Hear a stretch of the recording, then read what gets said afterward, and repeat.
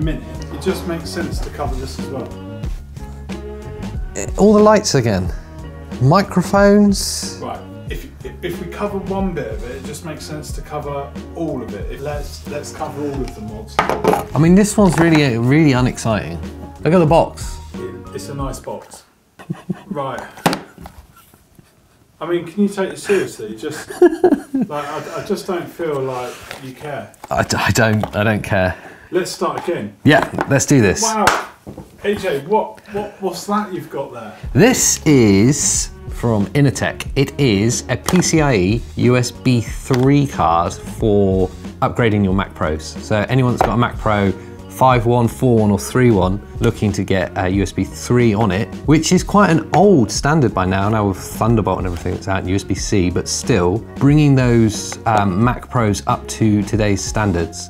This is a really cheap um, way of doing that. PCIe, so it slots in, plug and play, works straight out of the box with Mac Pros. I was looking for more for ages. Wait a minute. Are you telling me you haven't been able to use the USB 3 hard drives?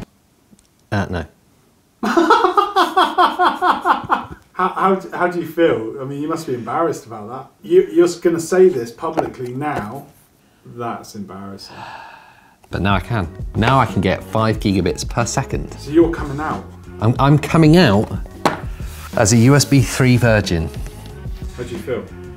I feel that I've made a big step today. Do you remember that scene in Back to the Future? Back to the Future 2? Right. The train, No, that's 3.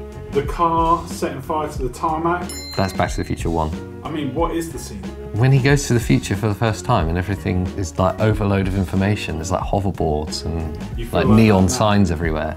I feel like I'm finally at Biff Towers. And I'm Doc. you look like him. Uh, it's got four ports on it, so once you've plugged it into your PCI slot on your Mac Pro, obviously out the back, once you take the blanking plate out, you'll have four USB 3 slots. That's epic. Now, every four of those ports is going to go super fast speeds. No. No, because I didn't buy the expensive version. You what? I bought the cheaper one. Right, don't worry about it. Um, we'll just make, we'll make a really cool advert for Inateck now, and they'll send us the pro one. In an age where only one company can help us. Inateck. PCIe USB 3 card. For your Mac Pros and PCs that don't have USB 3 yet. Because they were built in 2009. Consumer information. If you buy the cheaper one, maximum speed only when you use one port, but if you use more than one port, it will be like when you probably used to use the internet. Terms and conditions apply. Buy it now. That was good. Yeah, see? That was really good. I used to work in advertising.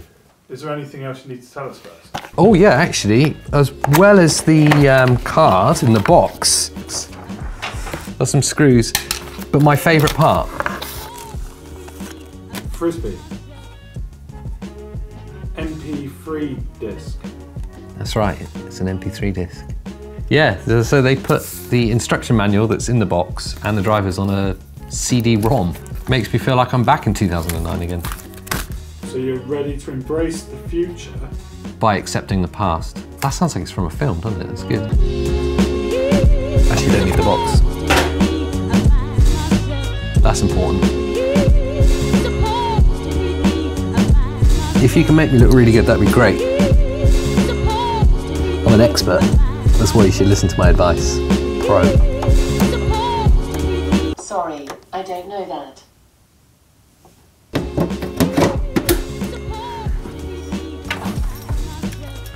I mean, you don't have to show this bit. So I'm just going to. Uh, there's something not right about this. Just make this look seamless, right? Like I know what I'm doing. Yeah, okay.